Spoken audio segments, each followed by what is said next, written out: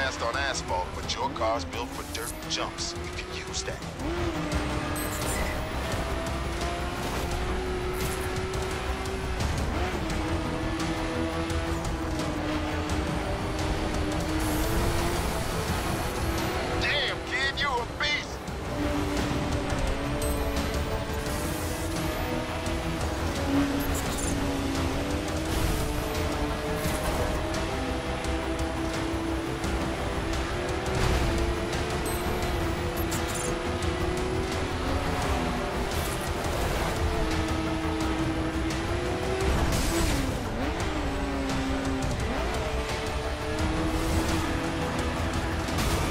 Up there!